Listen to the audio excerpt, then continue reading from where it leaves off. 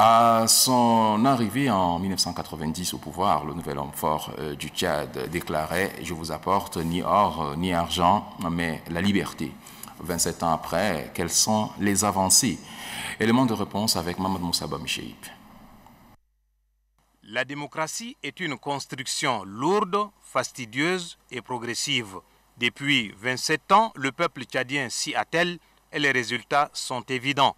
Ce 4 décembre 1990, en découvrant le visage d'Idriss Déby à la télé, le peuple tchadien goûte au premier fruit de la démocratie, la liberté d'opinion. L'avènement de la démocratie au Tchad a été non seulement une opportunité pour les citoyens de jouir de leurs droits, mais aussi de s'exprimer et de circuler librement à travers le pays.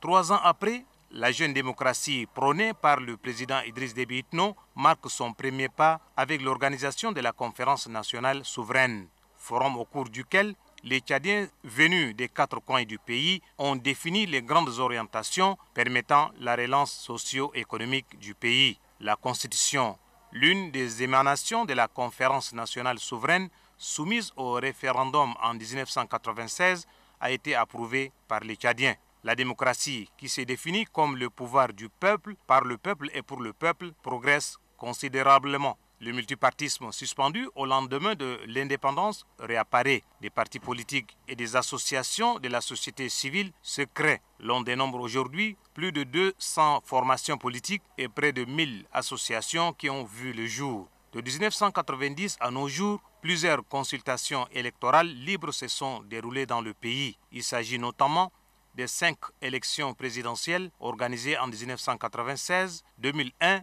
2006, 2011 et 2016. En plus des présidentielles, trois élections législatives et une communale ont eu lieu. Ces différents exercices prouvent à suffisance que la mise en application des conclusions issues de la conférence nationale souveraine de 1993 est réelle.